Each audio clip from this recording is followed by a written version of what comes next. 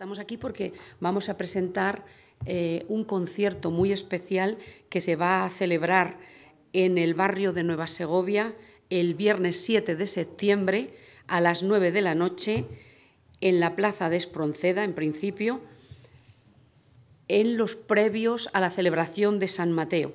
Un concierto conjunto del nuevo Mester de Juglaría y la banda municipal de Coca. No es que eh, la banda de Coca apoya al Mester. Esto es un, es un proyecto, es una conjunción, no es una añadidura.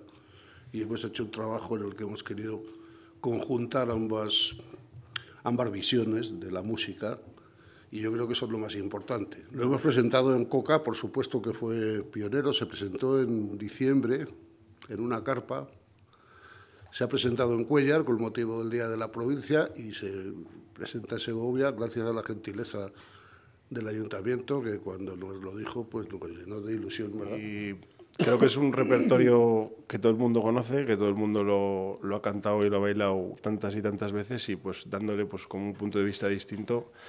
Y creo que tocar en Segovia era una asignatura que teníamos pendiente y nos hace mucha ilusión y la banda de Coca pues estamos encantados de poder, de poder participar en esta iniciativa y ojalá se siga haciendo y yo creo que la gente lo va, lo va a apreciar para el grupo el tener detrás instrumentistas que tienen desde la misma edad que nosotros a chavales de 16 años eh, embarcados en, el mismo proyecto, pues eh, se produce un, un, efecto muy, muy gratificante. ¿no? Y la verdad es que el, el, entusiasmo que ponen sobre todo los chavales es digno de mención.